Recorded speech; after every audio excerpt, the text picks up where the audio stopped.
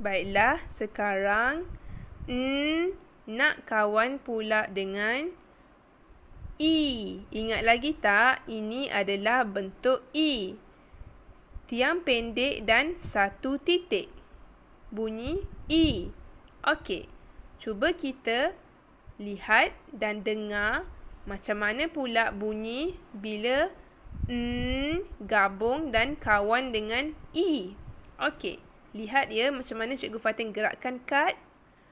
N, I, N, I, N, I, Ni.